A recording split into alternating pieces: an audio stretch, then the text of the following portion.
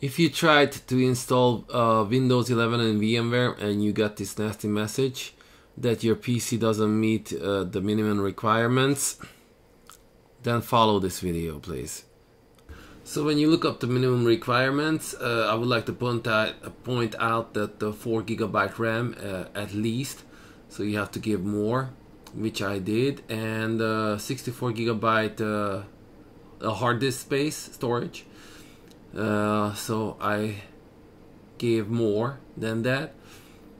And uh, you still have some things to do after that. Uh, go into a documents folder and uh, go into the virtual machines in the documents. And you're gonna see the the Windows 11 x64 or whatever you named it uh, VMX file. So it's just however you name the virtual machine.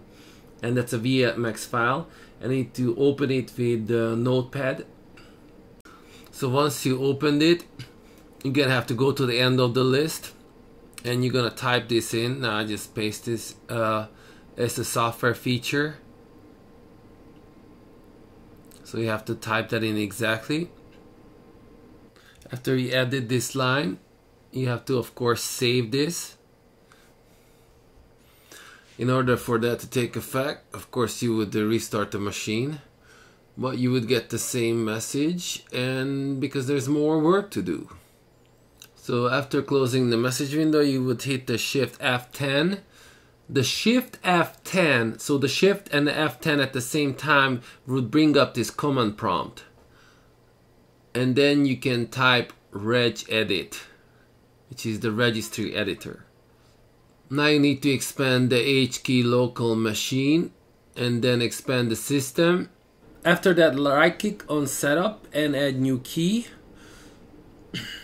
And you're gonna rename this key to the following. Lab config. After you renamed, then you're gonna right click, new, DWORD 32-bit value. And then you're gonna rename this one to bypass secure boot check one word and capitalize the beginning of the words. After you hit the enter we're gonna modify the value. And the way you're gonna do it is right click on the bypass secure boot and after right clicking you're gonna choose modify from the menu.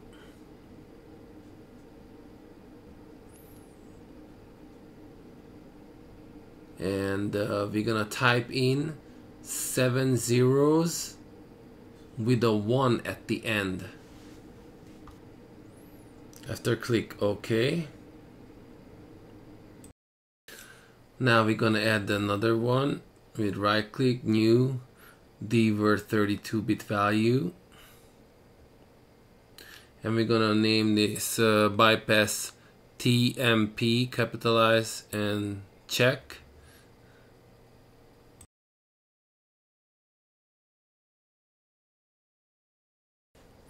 So we're gonna uh, click uh on it and right click and modify and we're gonna do the same put the seven zeros with the one at the end. In hexadecimal of course. Click OK. So now you can just close the regedit window. It's already saved with editing it real time. So you don't have to do extra save and uh, install now. Uh, click on the install now uh, and uh, choose the the version you want, accept the license agreement, and you're already there. So the rest is uh, probably easy and you know the rest. And if you like this video, please hit the thumbs up so it can go higher in the rank if, if it's uh, if it worked out for you.